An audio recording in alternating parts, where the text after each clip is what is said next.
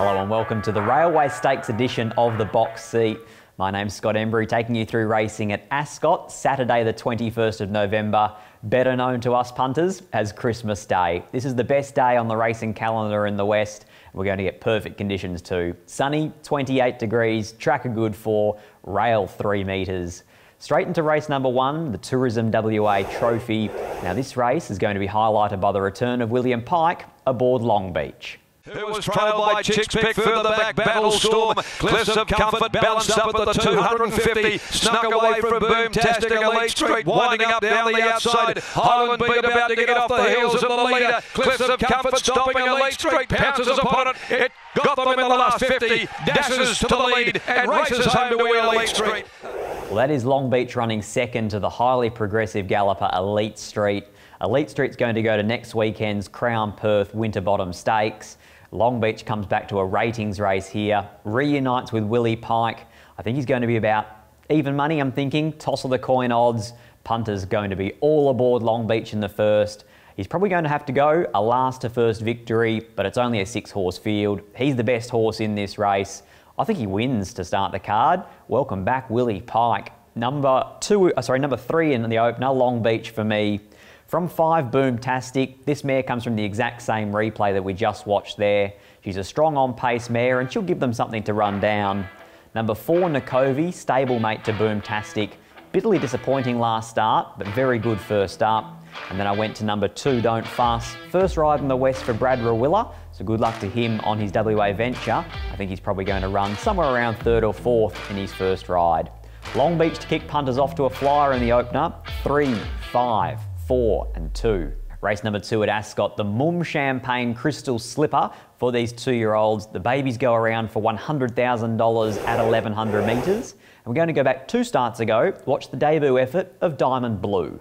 And Galaxy Cat went out after Gorgeous Gossip, the favourite, quickly around their heels. Fatal Femme, though, and down the outside, starting to run on is Diamond Blue, for Fatal Femme, Diamond Blue, and the lady is a vamp right all on her own out near the middle of the track. The leader's for Fatal Femme. Fatal Femme, she's digging in hard too, Fatal Femme. Fatal Femme, she had to fight. I think Ted Martinovich has got himself a pretty handy horse here. Mitchell Pateman definitely going to have his work cut out because gate number eight is a little bit sticky. But I think with even luck here, Diamond Blue goes very close and he's going to go around at 10 or $11 as well. So he's probably one of my each way plays for the day, in fact, in the two year olds race.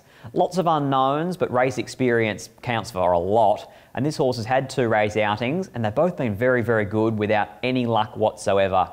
So fingers crossed for Diamond Blue and Mitch Pateman, they can get an ounce of luck on the weekend and give this a shake at odds. Number one on top for me in the Crystal Slipper. From five, Liwa, this filly was absolutely plunged on debut. She opened up 5.50 with TABtouch. She dumped around $2.40. The punters burnt their fingers, but I am expecting them to follow up because her run was probably a little bit better than what I first thought live. Number 12 on debut, Heavenly Waters from the Albany stables of Roy Rogers. Thought I saw something in this filly in her one and only trial down at Albany and number 11 Flying Missile, who was oh so impressive in a 400 metre jump out leading from go to woe. My numbers in race number two 1, 5, 12, and 11. Race number three at Ascot, TABtouch Better Your Bet handicap for the stayers, 2200 metres.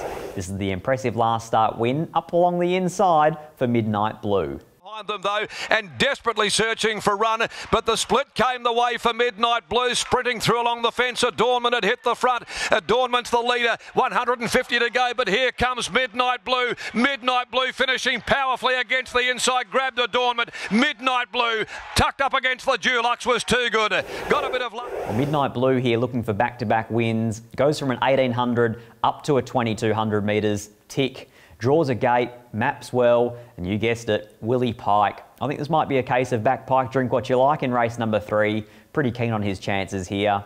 Looks to be one main danger, and that's come right back. This is a progressive stayer from Adam Durrant's yard, rock hard fit. Peter Hall, he knows how to ride these stayers. I'm sure it's going to be a contest here, but I am expecting the Cerise and White and William Pike to prevail in the finish.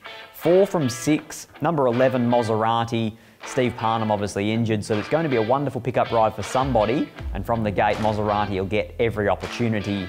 Number five, next best, Paddy Shadow. The draw doesn't really worry her. She's a natural back marking mare anyway.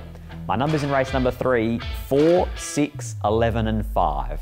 Race number four at Ascot is the first of the features. It's the TABtouch Placid Ark Stakes at 1200 metres. A listed race for the three-year-olds. We're going to watch the very impressive and effortless last start win of Shantalk. Shantalk, our Danny, and all day session as the sprint goes on. Charlton Eddie in front, 250 to go, but now the filly Shantalk draws alongside. Shantalk, Charlton Eddie. Shantalk's got the upper hand from Charlton Eddie. They went to the 100 now, and she put pay to him. She comes away now, and it's all over. Shantalk was far too good for Charlton Eddie. They well, that was Shantalk sitting outside Charlton Eddie, putting him to the sword and running away in the end. She steps to 1200 metres for the first time. Not quite sure how she's going to go, but she's going to get a map condition to really suit here. If she's sitting on the back of Charlton Eddie, like she similarly was last time, with Acromantula sitting in the breeze, she's going to get a wonderful suck run at 1200 metres. Set weights and penalties suits her. I think she's pretty hard to beat here. But that being said, there's four or five other legitimate winning chances. It runs a lot deeper than just her. I am putting her on top, number four, Shan Talk. Five, Mystical View was a really good run first up this campaign when winning at Northam. A really good run second up as well. The blinkers go on, comes off seven days, a mile back to 1200. A lot of red lights flashing there. Make sure you do keep Mystical View safe. Number three, Queen Brown, in a pretty similar sort of profile. She comes back out of those three-year-old fillies features where she just found 1400 maybe a little bit too far. And then Acromantula couldn't have been more impressive on Melbourne Cup Day on debut. My numbers in race number four, four, five, three and two. Race number five at Ascot, the people start handicap at 1400 metres. We're going to watch the last start effort, this only second career outing as well for Western Empire. Road on the rail into the straight. First Law ranged up, hit the front at the 250. Kicks about a length clear. Empire Rain down the outside now, starting to run on very well. Western Empire. First Law is the leader. Callaroo finally gets a split near the inside. Diving Western Empire. They'll go to it all. There's nothing in this at all. Well, that's Western Empire running second in the Faritha. It's amazing to think that he's the first emergency for the Guineas. So he's probably going to sweat on a run there. And I dare say if there's any scratchings at all, he will go to the Guineas and he will scratch from this race. So it makes it a bit tough from a tipping perspective. For that reason, I'm going to go with a horse who I know is going to run in this field. And that's Tiffer's Spoken here. Was first up no trial for Sharon Miller and Paul Harvey. And I thought ran really well behind Point Taken, who might well be a progressive mare that's getting under the guard. Here, second up, drawn a gate, well weighted, I thought well placed as well. So I'm going each way if Western Empire starts, and then win only if Western Empire is scratched. But I'm putting Tiffer's Spoken on top, number eight. Number 12, Western Empire. Clearly, if he doesn't get a run in the Guineas, he's going to be nearly even money in this. Very impressive with what he could produce at only his second start in a listed three-year-old race. Number five, Sweet Dreamin', ever consistent, as all of Holly Lock's gallopers are. Number two in Sophie's Song. I'm maybe a touch disappointed with what she produced last start after she got it soft in front, but Brad Parnham will have her right over the speed. Race number five, people start handicap numbers 8, 12, 5 and 2. Race number six at Ascot, the Sky Racing WA Guineas. For the three-year-olds at a mile, we go back seven days ago to watch the fighting win of the champion fillies in Watch Me Dance outside with a run. Parnham's hard at work on Snickerdoodle Dandy. Back in heavy traffic from Brave Dreamer. Indigo Blue had hit the front. Watch Me Dance is coming through now in the middle. Watch Me Dance. Indigo Blue from Solaya. Brave Dream wider out. Indigo Blue digging in. Watch Me Dance stride for stride. It's Indigo Blue. Watch Me Dance. Tight. Camera. Can't pick it. Well, that was Watch Me Dance for Steve Wolfe. You will not see that on Saturday, I guarantee it. I don't do that whatsoever, but I do think that this filly is quite hard to beat. I'm going with one of the Colts and Geldings to win the Guineas, and I'm going with Dom to shoot here. We will need each way. I think we'll get each way around 5, 550 because he is a horse that gets back in the run, but he was so impressive in a pretty moderate uh, field in the Faritha, it must be said. He finished seventh. It looked disappointing to the eye, but you break it down, fastest last 1,000, 8, 6, 4, and 200 metre splits of the race, it looked like a horse that was getting out to a mile and with more pace in this race, which I'm confident there will be, he looks the one to beat here. So it's each way for me in the Guineas with Dom to shoot. Clearly, the filly Watch Me Dance is going to make her presence felt. She was awesome last week on a heavily rain-affected track. Number one, Gemma's Son, wasn't this a run at weight for age in the Lee Steere? Goes up sharply in weight, but I think here he's starting to show that maybe the mile is up his alley. Number 14, next best, that's Brave Angel, another one of these fillies who I all think are live chances of, winning, of beating the boys in the Guineas. My numbers in race 6, 2, 11, 1 and 14. Race number 7 at Ascot is the Crown Perth Jungle Mist Classic, a listed race for the fillies and mares at 1200 metres. We're going to go back a couple of months and watch the last start win of Tycoon Storm. Headed the remainder. They're into the straight at the 300. Tycoon Storm let go. Joined Elementaria, Peppy Jack, Rebel Knight down the outside. Expressionist flat footed in behind them. And then came Miss Dominican running on, but Tycoon Storm led with 100 left to go. Tycoon Storm's a length and a half. Rebel Knight. Then came Miss Dominican. It'll be too good, Tycoon Storm. Tycoon Storm enjoyed the.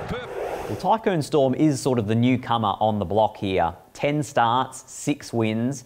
No doubt was tipped out for a bit of a freshen up after that race to be set for these fillies and mares features to try and grab her a little bit of black type. But at the set weights and penalties conditions, I simply can't go past this top weight in Flower of War. As a Metro 97, she should be giving almost 10 kilos to Tycoon Storm, the second favourite, but she gets in with only 57 and a half, which is exactly the same weight as she carried to win the Marjorie Charlson, where she beat Angelic Ruler. She beat Flirtini. It has to be good form for a race like this, and she was plunged last start. I'm going with her, and I think she can cross two to lead. Number one, and probably one of the better bets, Flower of War. Eight Tycoon Storm, clearly progressive, clearly going to get a nice run and hard to beat. Number four in Why Choose Her. If she'd drawn a gate, I had her as a definite winning chance here.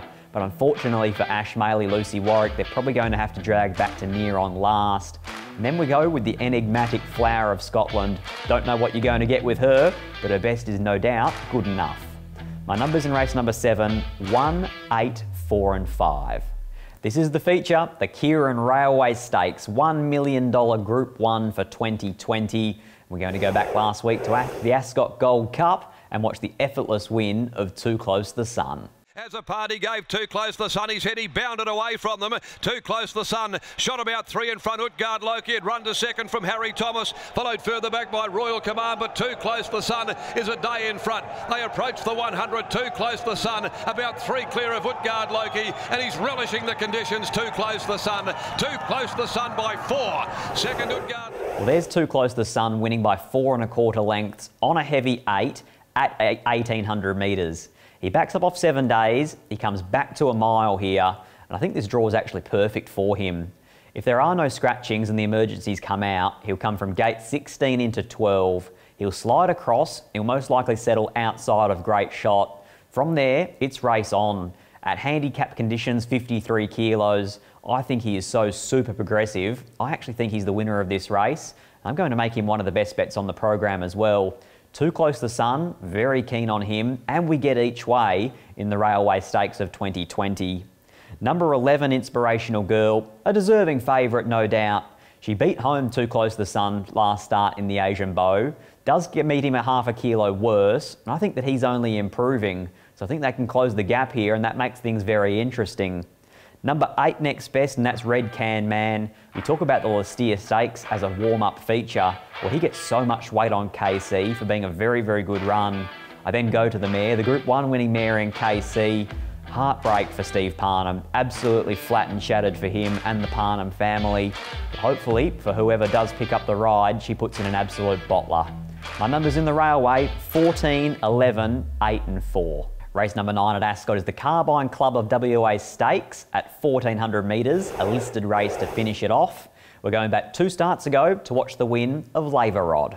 Outside, River Dance had run to third, waiting for the run. Laver Rod behind them. Multiverses down the outside, and they're being followed by Celebrity Queen, starting to weave away through the traffic with 150 left to go. And now on the outside, reaching the lead here, coming quickly. Celebrity Queen, Laver Rod driving through though. Laver Rod and Celebrity. Well, that was Laver Rod sitting close handy to the speed, beating both cliffs of comfort, but more importantly, Celebrity Queen in that run. He then went to a weight for age in the Lee Steere. He was the worst weighted horse in that race. He comes back to set weights and penalties conditions. So he drops out of a group race into a listed race and drops four kilos. Don't get those conditions very often. He also gets a listed 1400 with not a lot of speed. So I think Pat Carberry will be very much right over the top of it, and he has to be hard to beat in these race conditions. Number nine on top for me in the lucky last, and that's Laver Rod.